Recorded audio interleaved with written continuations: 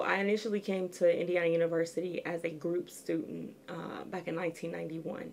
And because I had some financial difficulties, by the end of my fall semester, I wasn't able to stay. So I left. I didn't think that it would be possible for me to leave school. I came to school very arrogant. in terms of I felt like I had the the brains to be able to meet any challenges I faced. I did not anticipate that my parents would say, "Yeah, we don't have the money. You need to come home." So for me, that was like, oh, "This cannot be happening to me."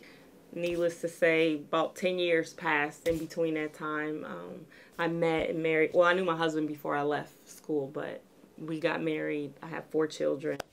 Um, uh, and it was I don't know, shortly after the birth of my uh, last son that I started really thinking about, man, I wanted to do more with my life. Biology was still in the back of my mind, but I didn't know how I would make that work now, having four kids, working, all of that just didn't seem like it would ever translate into a degree for me. So, um, I met with an advisor and she mentioned to me about the continuing studies program and that I could qualify, you know, that I would be qualified to enter that program.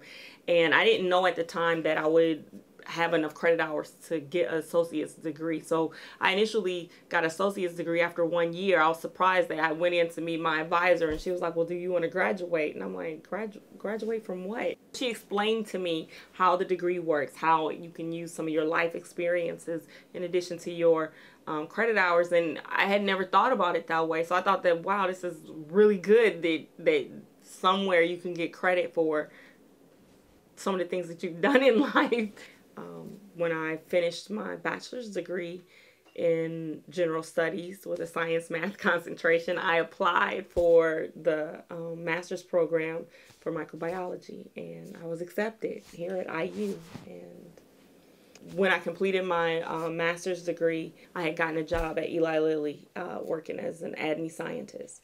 And so these are all the things that I never thought would happen for me. Uh, but what I think the biggest uh, benefit has been is that my kids have, I have tried to include them in every aspect of my education. All of them talk about going to college. That may not have happened had I not taken the steps to come back myself. They knew that I was working or working towards something and I would talk to them about college and opportunities that uh, the campus had, even you know for families, just the different things that you can do on IU's campus. If, even if it's nothing but going to look at the fountains or the out artwork, all of this I felt like was uh, gave me the ability to kind of immerse them more into college life. This should be. I didn't want it to be a second thought. I wanted it to be the first thought, a natural thought. When I finish high school, I have to go to college. When you have a goal that you meet, there's nothing like it in the world that feeling like oh, I did it I finally and then it just sets you up to set the next goal like okay I was able to do that. And my I don't know for me my motto is one step at a time. I just went one one day at a time focused on what I could do. If you don't ever even try even take that first step you'll you'll never know